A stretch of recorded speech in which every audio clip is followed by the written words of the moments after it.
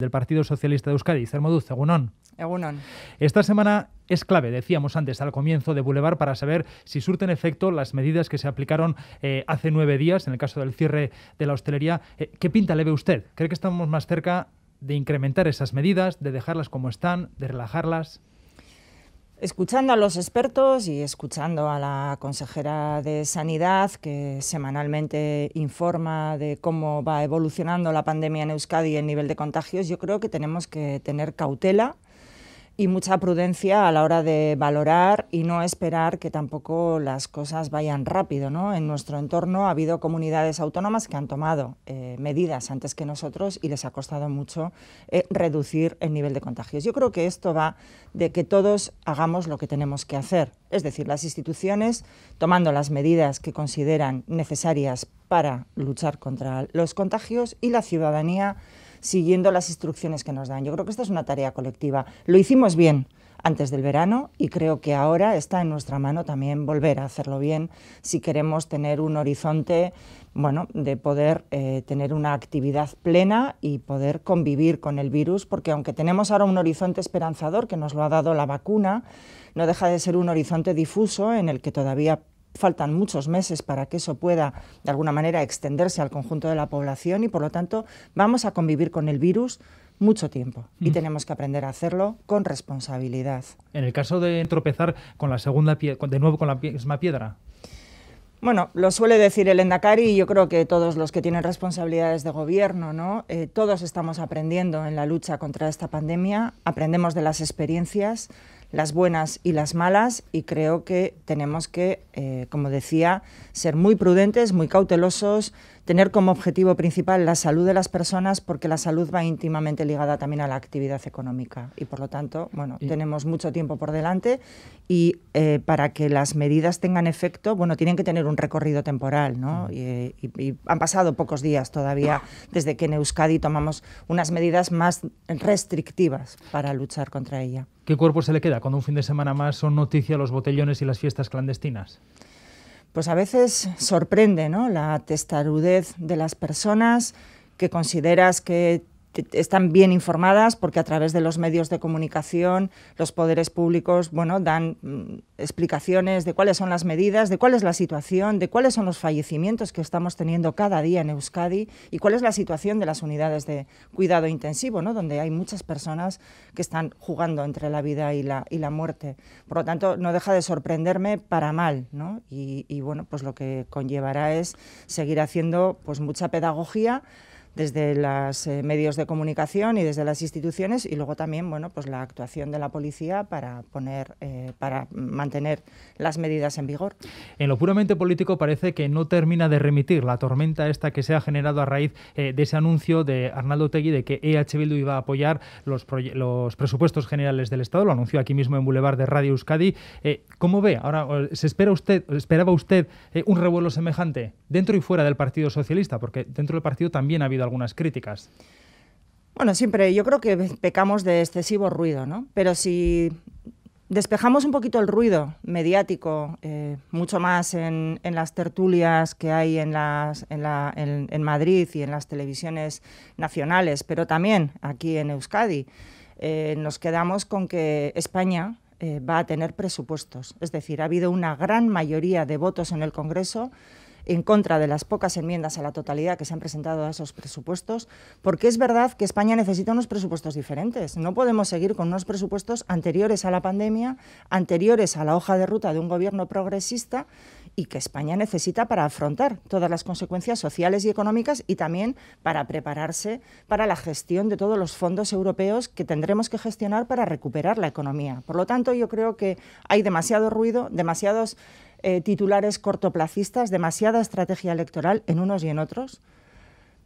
y creo que ellos tendrán que ser quienes expliquen por qué, eh, por ejemplo, mm, Gratis et Amore, mm, sin ninguna negociación por medio, anuncian un voto favorable a los presupuestos generales del Estado, que yo me congratulo porque son unos presupuestos progresistas, y luego, sin embargo, cuando venimos a Euskadi, bueno, pues parece que esos mismos presupuestos que son progresistas, que son sociales y que buscan la reactivación económica y la generación de empleo, no van a recibir un voto favorable eh, por parte de, de H. Bildu, ¿no? por poner un ejemplo.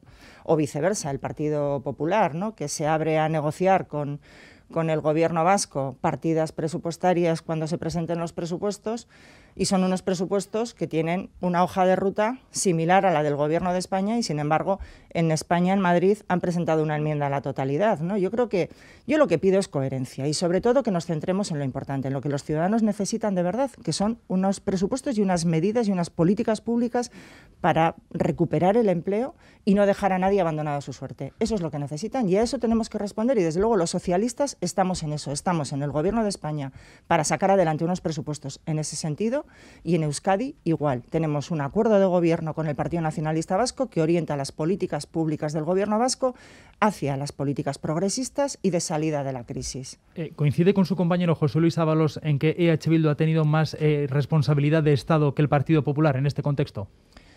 Yo lo que creo es que EH Bildu se ha hecho una enmienda a la totalidad de su trayectoria histórica y yo me alegro porque creo que los escaños están para que se utilicen en beneficio de la ciudadanía. Creo que son unos buenos presupuestos y por lo tanto si van a contener el voto favorable de los escaños de Bildu, bienvenidos sean. Por lo tanto, yo creo que con eso nos tenemos que quedar, con eso y con que frente a todo ese ruido mediático que en el fondo lo que buscan es que el Partido Socialista Obrero Español no siga en el gobierno de España, porque es lo único que le preocupa al Partido Popular y lo único que le molesta, porque yo estoy convencida de que si el PP necesitase los votos de Bildu para sacar adelante los presupuestos en España, los utilizaría, igual que Maroto los utilizó en Vitoria y hizo además eh, a gala de ello, ¿no? e invitó a los demás partidos a que siguieran su, senda. Por lo tanto, yo creo que aquí lo que se trata es de que eh, Bildu, a quien le hemos pedido a la izquierda Berchale que haga política, bueno, está haciendo política. Por lo tanto, bueno, pues eh, sus votos valen igual. Pero también ha habido críticas dentro del Partido Socialista. Sus compañeros García Paje o Fernández Vara eh, cuestionaban que se llegue a este tipo de acuerdos. Esos no querrán que se tumbe el gobierno. Pero es que no ha habido ningún acuerdo. Arnaldo, Arnaldo, Tegui, aquí anunció eh, que iba a votar favorablemente a los presupuestos porque veía que los presupuestos eran buenos y que salvo que se torciesen, supongo, entiendo que se refería al proceso de enmiendas, iba a votar a favor. Por lo tanto, él lo que ha hecho ha sido un voto favorable desde el inicio, previo a ninguna negociación.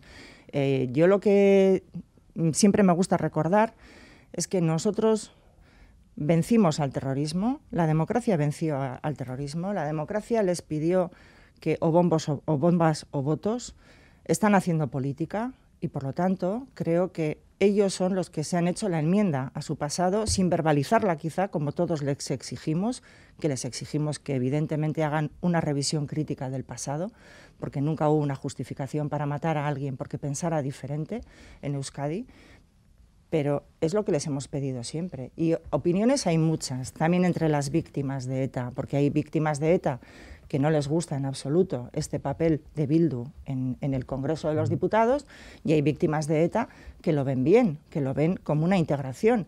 Yo siempre digo que el Partido Socialista es el partido que más vertebra España.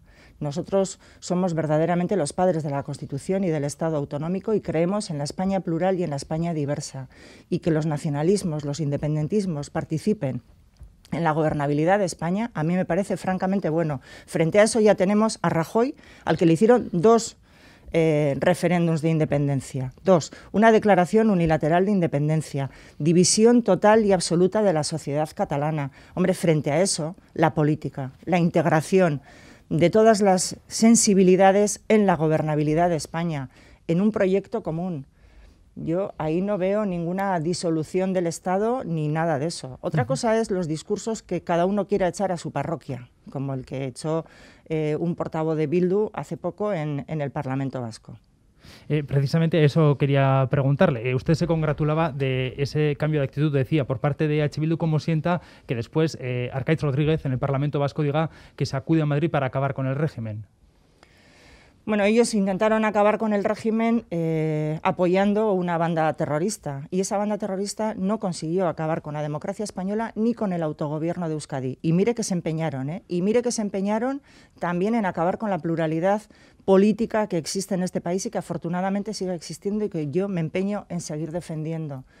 No van a conseguirlo. Lo que van a conseguir, lógicamente, con su voto favorable, es sacar adelante unos presupuestos progresistas, unos presupuestos que van a conseguir preparar a España para el salto en la digitalización y en la transición ecológica, y creo que es positivo. Pero no solo ellos, es que yo creo que es bueno que se sumen más partidos. Yo quiero poner en valor también especialmente que Ciudadanos, por ejemplo, a pesar de todo el ruido mediático que se está generando en torno a este debate, yo creo que artificial, porque se quiere quitar el foco de lo importante, que son los presupuestos progresistas, sigue sentado a la mesa del acuerdo sigue sentado a la mesa queriendo negociar. Pues yo creo que sería muy positivo que Ciudadanos también pudiese votar a favor de esos presupuestos, que hubiese una negociación que fructificara en un voto favorable de Ciudadanos a los presupuestos del Gobierno de España. Con el voto favorable de Euskal Herria Bildu y si finalmente se suma Ciudadanos, no harían falta, por ejemplo, los apoyos del PNV. Yo creo que son momentos en los que hay que arrimar el hombro, todos. Es que yo tampoco entiendo por qué el Partido Popular presenta una enmienda a la totalidad en estas circunstancias, de verdad se lo digo. Puedo entender de Vox, porque es un partido claramente antisistema, ¿no? Y hace gala de ello. Pero el Partido Popular, un partido que ha gobernado España, que aspira a volver a gobernar España, en unos momentos tan dramáticos, hemos visto la utilización espúrea que ha hecho del sufrimiento de la gente, de la pandemia, de los muertos. Bueno, yo creo que ya basta ¿no? de tacticismo electoral, de estrategia cortoplacista. España necesita política de altura y de altura de miras en unas circunstancias muy difíciles. Y aprobar, apoyar o abstenerse a los presupuestos generales del Estado no supone que dejes de ser alternativa al Gobierno de España, al Partido Socialista. Tienes un montón de áreas en las que puedes hacer oposición a ese gobierno, controlar al Ejecutivo. Pero hombre, cuando llega un momento como este, en el que necesitas unos nuevos parámetros económicos y presupuestarios que menos que arrimar el hombro. Por lo tanto, todos los grupos están llamados al acuerdo. El Partido Nacionalista Vasco, además, como socio preferente que es del Gobierno de España, está en la negociación y seguramente estará en el voto favorable a los presupuestos. Yo no lo veo de otra manera. Puede ser más difícil traerles a ese voto favorable al PNV ahora con el sí garantizado, bueno, garantizado, con el sí anunciado de EH Bildu. Yo no lo veo, pero bueno, eso es una cuestión que tendrán que responder los del Partido Nacionalista Vasco, sus representantes. Pero en fin, yo creo que el Partido Nacionalista Vasco está negociando los presupuestos. Creo que es un socio que se puede sentir bien reflejado en las políticas que está llevando el Partido Socialista en el Gobierno de España y por lo tanto puede perfectamente votar a favor de los, de los presupuestos. Pero. Mm, que lo adelanten ellos y que lo decidan ellos. Eh, el otro día criticó a Pablo Iglesias por engordar, decía, a EH Bildu.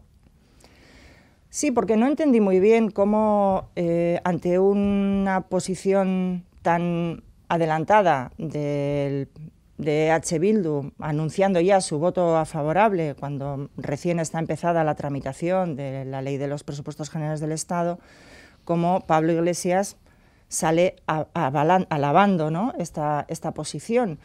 me sorprendía porque EH Bildu es competidor del Carrequín Podemos en Euskadi. Nosotros somos representantes de la izquierda vasca responsable de gobierno y no nacionalista. Nosotros no tenemos nada que ver con, con EH Bildu, no tenemos zonas grises, pero el Carrequín Podemos claramente en muchas ocasiones hace un, tiene ahí unas zonas grises con EH Bildu que ante unas declaraciones como las de su secretario general nacional, pues sorprende ¿no? que alabe esa, esa estrategia de Bildu, porque en el va en detrimento de sus compañeros de Euskadi. Lo dije en ese sentido. No sé si Miren Gorrochategui no me entendió bien, igual no me expliqué yo bien. A, mí me parece bien que Bildu vote favorablemente, pero me sorprende que bueno, el líder del otro partido salga alabando. Eh, una más, me deja hacer una más relacionada con los presupuestos. Eh, ¿Es eh, referencia a Eche Bildu para la izquierda ahora en el Congreso? no puede ser referencia para la izquierda porque la referencia de la izquierda en el Congreso y la referencia de la izquierda en España es el Partido Socialista Obrero Español. Somos el partido que marca las políticas progresistas en España y somos los que estamos en el centro de los acuerdos, es decir, los presupuestos, tanto en España como en Euskadi, pasan por el Partido Socialista. Eh, ¿Quién debería apoyar los presupuestos aquí, en Euskadi, teniendo en cuenta que con los votos del PNV y el PS es suficiente? Eh, ¿Qué mayoría le gustaría obtener? Bueno, hemos hecho un análisis de los programas electorales de los partidos políticos que tenemos en el Parlamento y salvo Vox, que realmente no tenía un programa electoral que poder analizar, hemos visto que hay puntos de encuentro con todos. Es decir, compartimos las preocupaciones E incluso diría más, compartimos los diagnósticos ¿no? de la situación en la que nos encontramos en Euskadi y quizá donde diferimos más los diferentes partidos de la Cámara Vasca es en la forma de atajar esos problemas que aquejan a la economía, al empleo y a las familias eh, vascas. Pero creo que tenemos un camino por andar y yo espero que tengamos eh, un recorrido. Eh, sobre los ERTES, me gustaría preguntarle también, eh, no sé si se prevé que muchos de estos ERTES se conviertan en eh, despidos definitivos, en pérdidas de empleos definitivos. Cuando conocimos los datos de octubre, ya dijo usted, bueno, hay que ser cautos, ¿no? Sí, a ver, los datos del desempleo han sido buenos en los últimos dos meses, pero hay que ser muy cautos. Es verdad que mm, hay ahora nuevos ERTES presentados que están en tramitación, pero también son unos datos que yo me atrevería a decir que hay que gestionarlos con cautela porque son unos ERTES que se presentan, que están en tramitación, pero no sabemos si finalmente van a convertirse en ERTES o no. Lo que sí es cierto es que hasta el momento, de las cerca de 188.000 personas que estaban en ERTE, más o menos un 80% está eh, en activo, han recuperado el empleo por lo tanto, bueno, eso es una buena noticia, ¿no? Y tenemos que seguir esforzándonos en ese sentido. Es decir, una combinación de lo que suponen las ayudas a los empresarios, de la figura de los ERTES para ayudar a, a sostener el empleo, al tiempo que desde el Gobierno y de Euskadi y de España se ponen otras vías de financiación, de liquidez para las empresas, pero también ayudas directas para pequeños autónomos, en el caso de la hostelería, que está sufriendo por el cierre que hemos hecho en Euskadi. Es decir, estamos combinando ambas cosas con el objetivo de mantener el máximo empleo posible. Al tiempo también que, eh, como en la planificación que estamos haciendo en el propio Gobierno de acciones concretas, nuestro objetivo es recuperar a todas esas personas que desde febrero con el confinamiento han ido perdiendo el empleo y no lo han podido recuperar también, porque ese es nuestro objetivo principal. Ha comentado el caso de la hostelería. Eh, desde el sector se insiste en que las ayudas anunciadas que por cierto están esperando a que se publiquen en el boletín oficial del País Vasco, eh, son, siguen siendo insuficientes. No sé si se debería valorar ampliarlas, eh, estudiar esas peticiones. Bueno, estamos al inicio y son unas ayudas muy importantes. Hay que pensar que el presupuesto de turismo y comercio se ha doblado para precisamente dar cauce a todas estas ayudas. Se ha creado una unidad especial para gestionar esas ayudas con la mayor agilidad posible y también desde el punto de vista de los requisitos que tienen que presentar las personas objetivo de estas ayudas se han reducido al máximo para eh, no ocasionarles tanto trastorno y para que puedan darse esas ayudas con la mayor agilidad posible. En fin, yo creo que hay que ir estudiando la situación poco a poco. Em, una de las prioridades de su departamento era la renovación de la RGI. Eh, no sé cuántos beneficiarios eh, había antes de la pandemia, en qué punto estamos ahora, si ha cambiado el perfil, cómo está evolucionando. Bueno, tenemos en torno a 53.000 perceptores de renta de garantía de ingresos.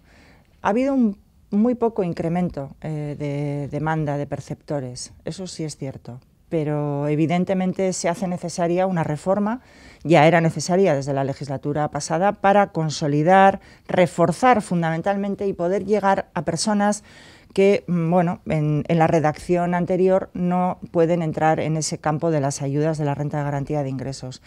Y al mismo tiempo, bueno, pues los oyentes saben que el Gobierno de España ha puesto en marcha el ingreso mínimo vital, que viene a ser una especie de renta de garantía de ingresos para toda España y que impacta directamente en nuestro sistema de garantía de ingresos.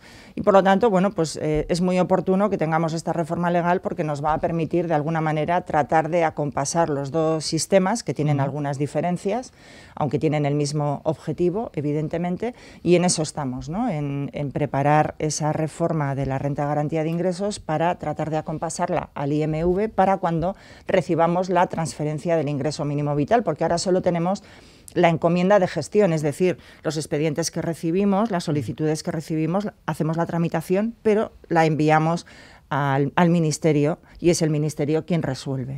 Eh, dos asuntos antes de terminar. Uno, la interlocución con los sindicatos. La semana pasada estuvo aquí el secretario general del sindicato ELA y decía que con usted en el Gobierno ha mejorado por lo menos la interlocución después de un primer contacto. Eh, ¿Qué espera de esas relaciones? Bueno, como dije también en esta emisora la última vez que estuve, para mí es un objetivo principal tener interlocución social e institucional, ¿no? Eh, tener eh, la, la puerta abierta no solo a los sindicatos, sino también a las patronales y al resto de instituciones vascas es fundamental para acertar en las políticas de empleo que quiero poner en marcha en esta legislatura y que debemos eh, tratar de poner en marcha.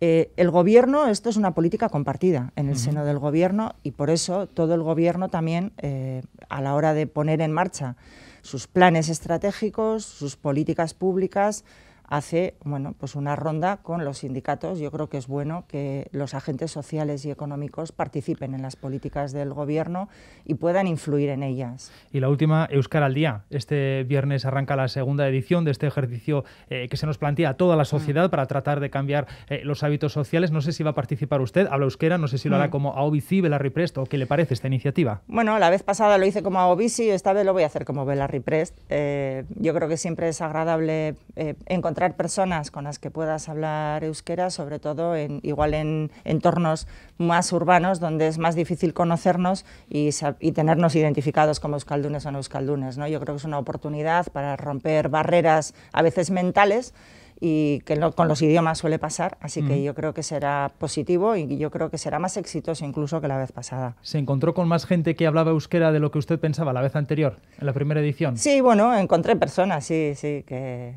que paradójicamente, aunque soy una persona conocida, bueno, pues yo creo que hay personas que igual pues no, no saben que hablo euskera o, y, y, bueno, pues sí. Idoia mendia, eskerrik asko bulebarren izategatik, ondizan. Berdin, agur.